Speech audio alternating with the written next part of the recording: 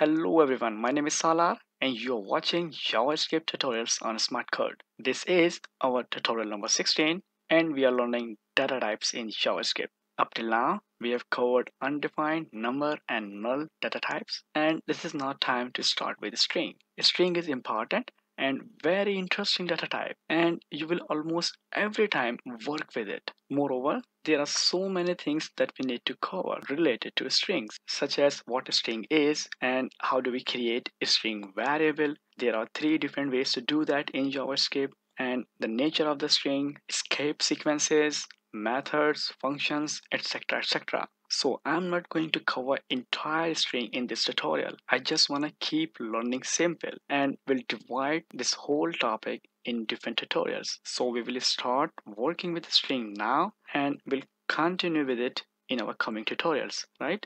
So this tutorial is just a start and you will learn what is actually a string, how do we create string variable and the nature of a string in JavaScript, right? Are you ready? So let's get started. So let's first try to find out what is a string. String is also called text and you are well aware how text look like, right? Text is just a collection of one or more characters, right? For example, on the screen, I am writing some text like I am learning Java script. So what I wrote here is a string or a text and what you see here is combination of characters. So a string is made up of characters. And here comes a question. What kind of characters? And the answer is 16 bits Unicode characters. 16 bits is equal to 2 bytes. That means every character in string takes up 2 bytes space. And the total bytes taken up by this whole string can also be calculated. The formula is very simple. Count the number of characters and multiply them by 2 but you don't need to do like that there is an inbuilt function that we use to get the size of the string and we are going to discuss it later on so now we can define a string in a proper way such as a string is a sequence of 0 1 or more 16 bits Unicode characters. A string can have zero character and such a string is called empty string and we will look an example on that. And if you don't know about Unicode, I would suggest my tutorial on that and you can find it in my channel. So now you know what a string is. Let's now see how do we define a string variable in JavaScript. A string variable holds a string like this one and in JavaScript, there are three different ways to create a string variable. You can use double quotes, single quotes, and backticks. Right, so I'm going to create three string variables using double, single, and backticks.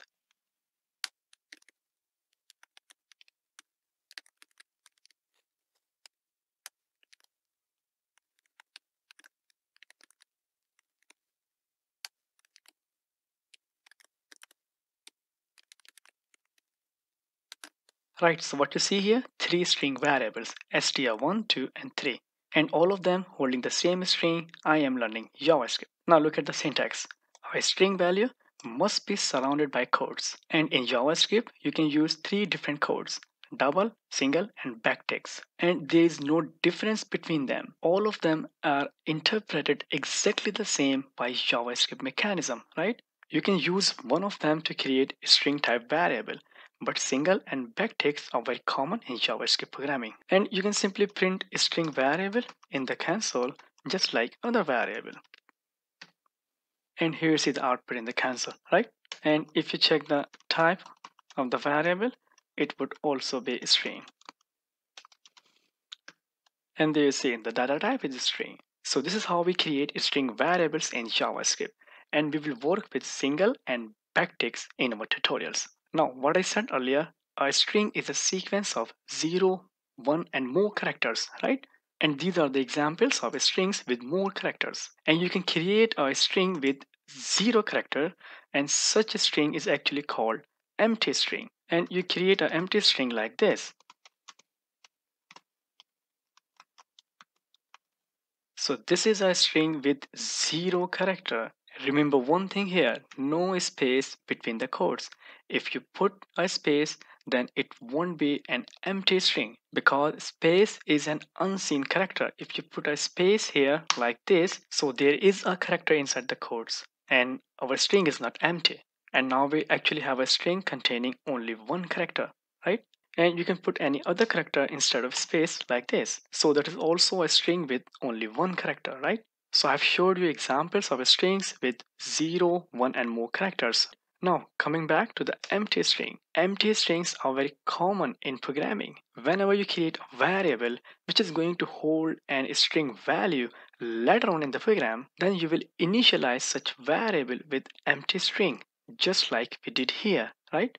If you don't initialize the variable with empty string, then it will get the value of undefined and the data type would also be undefined, right? And undefined also means variable has not been assigned any value right? So you will always avoid working with uninitialized variables.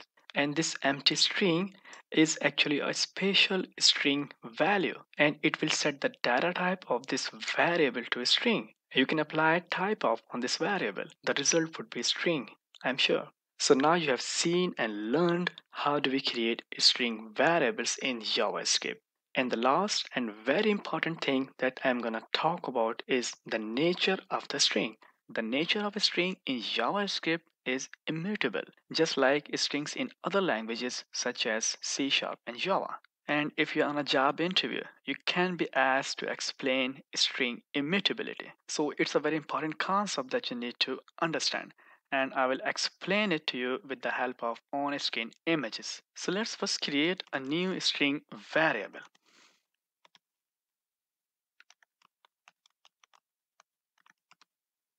Right, so now we have a new string variable msg and this is the value. Now string immutability means this value can't be modified or changed and it doesn't seem true at this moment because I can modify this value like this.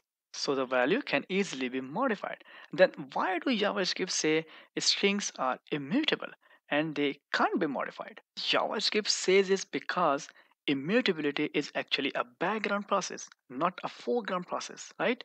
So when you modify a string value in the program, something happens behind the screen. In order to understand what's going on in the background, you need to take a look at this image on the screen. So what you see here is a background process. We have a variable named msg and it is assigned a string value which is welcome to my world, right? And this value must be placed somewhere in the memory and the memory that JavaScript using for string type variable is stack memory right? And the string value which is placed in the memory is also called a string object. And this variable is actually a reference variable because it is holding a reference to this object. And when you print this variable in the console javascript is gonna fetch this string value or string object from the memory Right, so this string object that you see in the memory is immutable. You can't modify this string object and if you try to modify this string object in the program, modifications will not be applied here. JavaScript is gonna create another string object somewhere in the memory with modified string and then JavaScript will destroy this string object. So let's first make a small modification in the string that we have in our program. Let's say I modified it and put hi in the string. Now take a look what JavaScript did in the background. Instead of modifying this string object, JavaScript created another string object with modification somewhere in the memory and shifted variable reference from this string object to this one and once it is done javascript is gonna destroy this whole object from the memory because it is now useless right? So the because of this entire background operation the creation of new string object with every modification and destroying of the old one we say strings in javascript are immutable right? I hope now you understood the concept of string immutability. The concept is straightforward Whenever you modify a string in the program, a new string object is created in the memory. That's it. Right, so in this tutorial, we started with understanding a string. Then you learn how to create string variables in JavaScript. And finally, we looked into the string immutability concept, right? So we will continue discussing a string in our next tutorial because there are so many things we need to cover. I will see you there and thanks for watching.